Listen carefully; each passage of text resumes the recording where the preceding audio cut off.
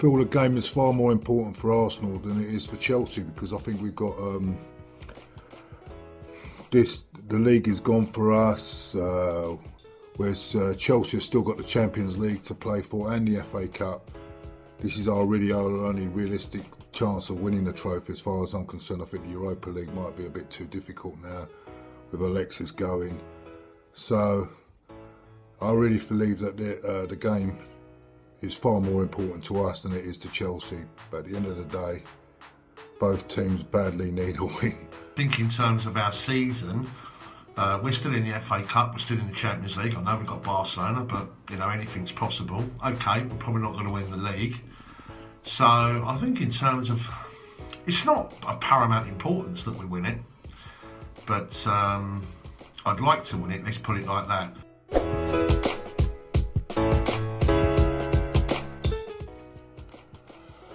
Well, the season's been so far this season we've been atrocious away from home.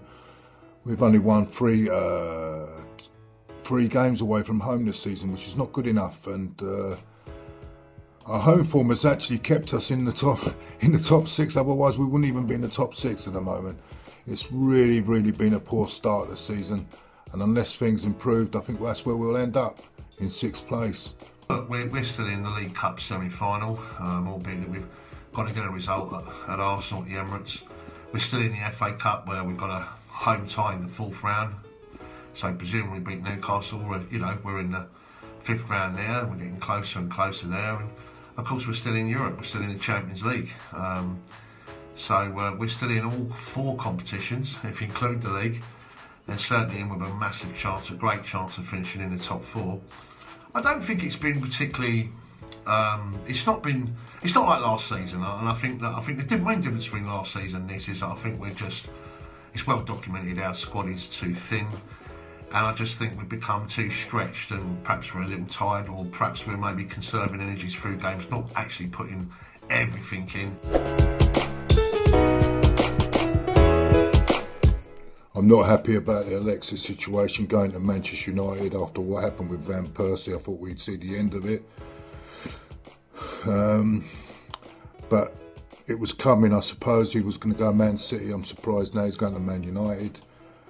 But uh, I'm not happy that we're not. We don't seem to be buying anyone. I hope we do buy someone, but at this present moment, Mkhitaryan coming in, if it comes off, I'm not so sure. I don't know. I don't. I think it's you can't really replace with Alexis, can you? So no, I'm not not really happy about it at all. Well, it's well documented that um, Antonio Conte wasn't happy with the dealings in the summer, uh, so therefore the emphasis is on this transfer window. I think the club's tr- definitely trying to do something. Um, we, as we know, we, have gone in with a, a late bid, um, which I think was pretty pathetic, really, for Arsenal's Alexis Sanchez.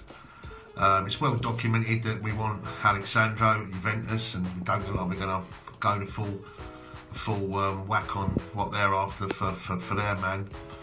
But we are active right now. But it does seem that um, we're trying to uh, trying to get a, a target man in.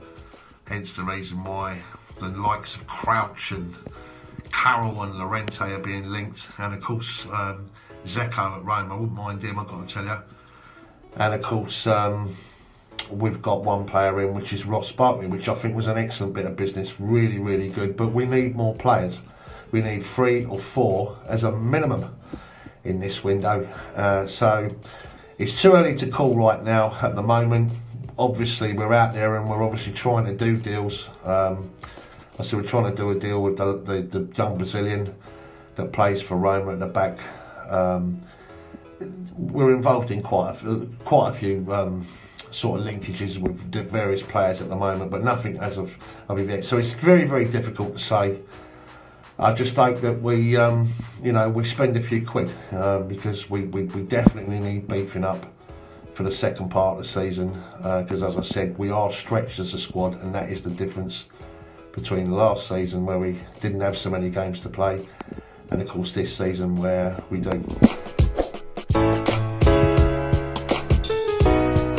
My team for uh, my team for Chelsea on uh, Wednesday night is in goal. I'll pick Cech, the back five or the back three and the two uh, wing backs. I'll put the two wing backs as Bellerin and Kolasinac.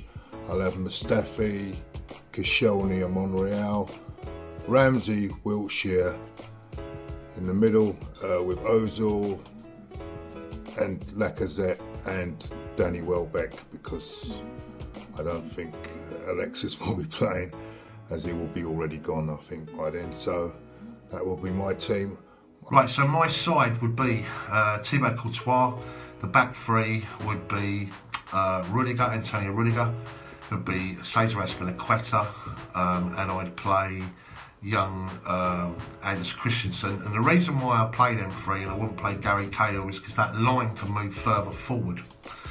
Uh, in holding central midfield, I play N'Golo Kante when he picks himself, did he? And this is where I'd get a little bit of stick because I would play Bakayoko. Uh, and I'd just tell him to power the ball forward, power the, just keep powering the ball forward. Um, I'd play Marcos Alonso and I'd play Zappacosta instead of Moses. Now, this is where I've got two choices because I'm thinking maybe I'd just play the three, i.e., Willian, Pedro, and Eden Hazard, because I think when we play those three, um, we're really quick, slick, the, the passing, the movement, you know, when they're flicking it on one another, we're really, you know, we're really pushed up with, with that side. Um, I think it would work. But assuming he doesn't, and he goes with Morata up top, I'd go one side Pedro and the other side, obviously, Eden Hazard. I'm predicting a. Well, I. I'm hoping, my heart is hoping for a 1 0 win. But my head says it's going to go to penalties and uh, hopefully, hopefully we'll change the keeper. I'm not going to make any predictions on the penalties, but that's how that's how it's going to go for me. Well, I think it's perfectly poised, isn't it? Really, uh, I don't think neither side's got an advantage. I understand the away goals coming to play, obviously, with regards to the um, extra time period, but um, we've got the best record out of any club at the Emirates, and I don't see no reason why we can't go there and get a result. I thought we were really unlucky in the league not to get three points and we are due a victory against Arsenal um, for sure. I Thought we were the best side in the first leg too. Um, I'm going to go for a scoreline of Arsenal one, Chelsea two. Hope to see you on. Hope to see you on uh, Wednesday, Tone, and let the best team win, eh? I'll see you there, Claude. I'll see you after the game, no doubt. Um, I'll probably see you before the game um, outside the away end as we normally do, mate. And uh, I'll see you round the old back um, behind the North Bank uh, for the after-match one. And may the best team win, mate. As long as it's Chelsea, of course.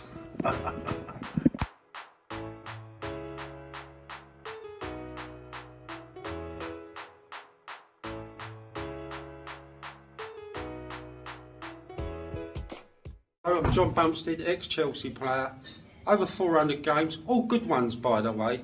Don't forget to subscribe to Chelsea SW6.